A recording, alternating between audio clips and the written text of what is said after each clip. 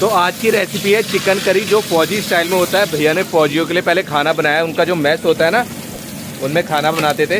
ये खड़े मसाले इन्होंने डाल दिए। और भैया खड़े मसाले में क्या क्या बताओगे? तेज पत्ता दालचीनी लौंग छोटी इलायची। तेज पत्ता ये देख लो मैं आपको यहाँ पे दिखा देता हूँ क्या क्या है। जीरा तेज पत्ता लौंग इलायची। और ये प्याज कितना होगा भैया? डेढ़ किलो है। डेढ़ किलो प्याज है इसमें, और ये इन्होंने डाल दिए सात से आठ। तेज पत्ता। सात आठ पत्ते होंगे ये तेज पत्ते के। तो एक बार आपको खड़े मसाले मैं दोबारा दिखा देता हूँ। मोटी इलायची है, छोटी इलायची है, तेज पत्ता है, लौंग है, काली मिर्च है, और भी, है, और जीरा भी है। और ये प्याज डाला है, भैया ने लच्छा। प्याज कितना बताया था भैया आपने? डेढ़ किलो प्याज है ये लच्छा कटा हुआ। अब इसको भूनना है अपने अच्छे से। ब्राउन होने तक भूनेंगे भैया इसको? हल्का सा ब्राउन होगा तब तक भूनेंगे। उसके बाद इसमें देखो आगे जो जो चीज़ें डलती जाएँगी वो सारी चीज़ें आगे देखते जाएँगे। तो अब भैया इसमें डालने जा रहे हैं चिकन। और चिकन कितना है भैया ये? चार किलो चिकन है। ठीक है भैया डाल दो।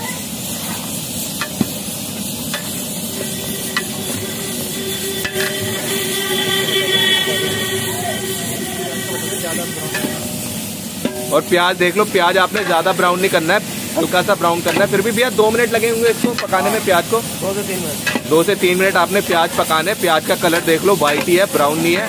उसके बाद आपको इसमें डाल देना है चिकन और ये थोड़ा अलग तरीके की रेसिपी है चिकन करी की जैसे फौजियों के लिए बनता है ना मैच में उस तरीके की ये रेसिपी है।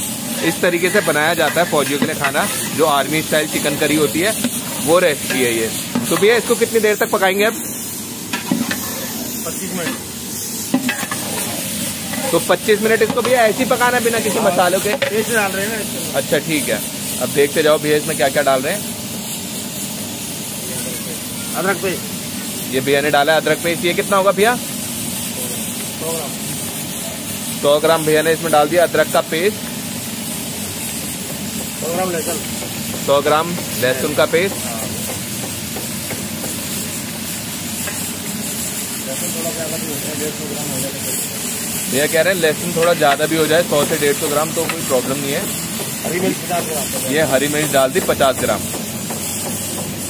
सारा पहले ही पीस के रखा हुआ है मिक्सर में आप भी पहले से ही पीस के रखना। तो अब इसमें डाल रहे हैं देगी मिर्च एमडीएच की। ये देख लो।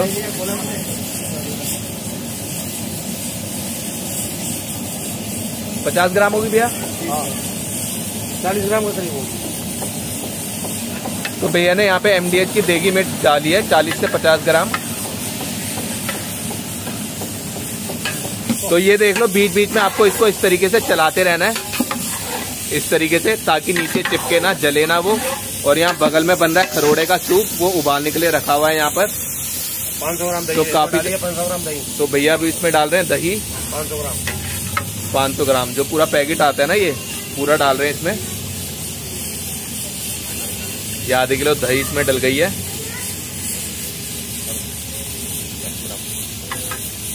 अब इसको दोबारा चलाएँगे। अब भैया इसको ऐसे पकाएँगे 20-25 मिनट तक। हाँ। अब ये ऐसे पकेगा 20-25 मिनट तक। कुछ नहीं डालना ना इसमें भैया अभी। अभी मीडियम आँच में आपको इसको ऐसे पकाना है 20 से 25 मिनट तक।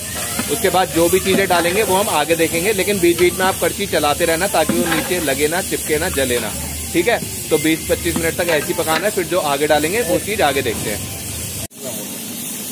तो ये देख लो भैया इसमें डाल रहे हैं नमक। भैया नमक कितना होगा? सौ ग्राम।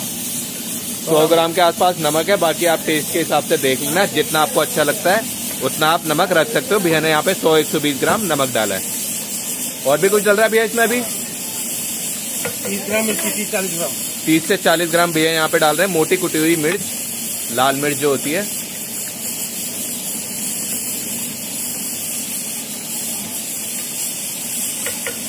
और कुछ डालेंगे भैया?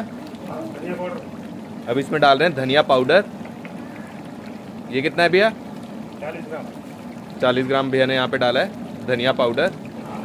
हम डालेंगे अब भैया इसमें डाल रहे हैं kitchen king masala chicken masala है, किचन किंग नहीं है चिकन मसाला ये वो किचन मसाला है। किचन तो यहाँ पे भैया डाल रहे हैं एमडीएच का चिकन मसाला ये देख लो। ये कितना होगा भैया? पचास ग्राम भैया। पचास ग्राम भैया ने यहाँ पे डाला है किचन चिकन मसाला। अब इसको मिलाएँगे अच्छे से। तो भैया लगभग कितनी देर में पकने वाला है ये दस एक मिनट और लगेंगे। अच्छा दस मिनट इसमें और लगेंगे। इसके बीच में अगर कुछ डालते हैं तो मैं आपको बाद में दिखाता हूँ। वैसे तो खुशबू बहुत ही बढ़िया आ रही है लेकिन फिर भी इसमें कुछ डालेंगे आगे कुछ ऐड करेंगे तो वो आगे देखते हैं। तो अब भैया इसमें डाल रहे हैं टमाटर और टमाटर की कटिंग देख लो। जितनी बारीक आप कर सको ना उतनी बारीक करनी है। हाँ। तो आधा किलो टमाटर डाला है। वो भी आखिरी में मतलब जब 10 मिनट हो ना पकने के लिए तब डाला भैया ने इसमें टमाटर। साठ हो साठ हो अब इसको अच्छी तरह इसमें मिक्स कर देना है। तो चलिए पकने देते हैं इसको 10 मिनट तक 10 से 15 मिनट तक। उसके बीच में अगर कुछ डालेंगे तो आगे देखते हैं। तो ये देख लो अब यहाँ चिकन में भैया पानी डाल रहे हैं। डाल दो भैया पानी। और भैया पानी का क्या है? मतलब जितना ग्रेवी आपको चाहिए उतना पानी डाल दो। ठीक है। तो अभी कितना डालोगे भैया आप इसमें? इसमें डालूँगा मैं सात सौ ग्राम करीब। अच्छा। चार किलो चार किलो सात सौ ग्राम चार किलो में 700 ग्राम के आसपास पानी डाल रहे हैं। बाकी आपके ऊपर है, अगर आपको ग्रेवी ज़्यादा चाहिए तो आप ज़्यादा भी डाल सकते हो। उस हिसाब से मसाले भी थोड़े बड़ा कम बड़ा कम कर देना। जैसे नमक हो गया, मिर्ची हो गई, वो कर देना। तो ये देख लो, यहाँ पे ऑलमोस्ट बन के हमारा रेडी हो चुका है चिकन करी आर्मी स्टाइल में। इसमें भैया डाल रहे हैं एमडीएच का गरम मसाला। और ये कितना डालेंगे भैया? तीस ग्राम। ये भैया ने डाला है लगभग इसमें 30 ग्राम और ये हमेशा आखिरी में इसलिए डाला जाता है ताकि जो चीज़ आप बना रहे हो वो काली ना पड़ जाए गरम मसाले से। उसका कलर काला हो जाता है इसलिए इसको हमेशा आखिरी में डाला जाता है। और। ऊपर तो ये देख लो ये है यहाँ पे काजू जिसको पानी डाल के पीसा हुआ है। तो भैया कितना काजू होगा ये लगभग? सौ ग्राम। सौ ग्राम ये काजू है और आपको इसको इसमें मिला देना है। और ये आपको तब करना है जब आप इसको गैस से उतार दोगे। ठीक है? इसको गैस के ऊपर नहीं करना है। जब गैस से आप उतार दोगे तब करना है और फिर इसको अच्छे से इस तरीके से आपने मिला देना है। ताकि इसका कलर बहुत बढ़िया आ जाए और खाने में क्रीमी टेस्ट आए। ऊपर से इसको सजा दिया हरे धनिए से। इसके बिना हर चीज़ अधूर- है। तो ये देख लो यहाँ पे हरे धनिए से इसको सजा दिया है। इसके बिना हर चीज़ अधूरी है। तो हमारा यहाँ पे ये चिकन करी बन गया। बन के रेडी है ना आर्मी हाँ, स्टाइल में? तो ये आर्मी स्टाइल में बन के रेडी है। आप भी घर में बता बनाना और हमें कमेंट में बताना आपको कैसा लगा। आई होप आपको वीडियो पसंद आई होगी। पसंद आई है तो प्लीज़ लाइक करना शेयर करना सब्सक्राइब करना। मिलते हैं नेक्स्ट वीडियो में। Thank you so much